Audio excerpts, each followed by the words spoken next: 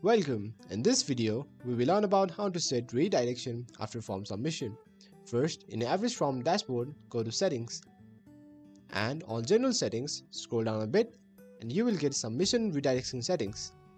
You can select which page to redirect to after the submission of your form and you can even enable conditional logic to have multiple redirects depending on what the user inputs.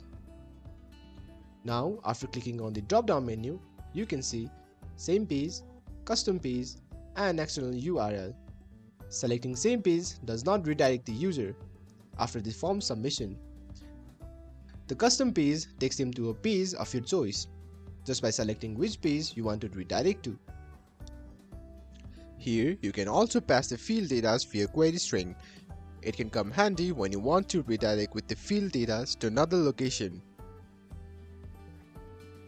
and external URL redirects them to a different site. Just simply copy and paste the URL of which you want to redirect to. Don't forget to save after you make any changes in the page. That's all for how you can set redirection after form submission. See you on the next one.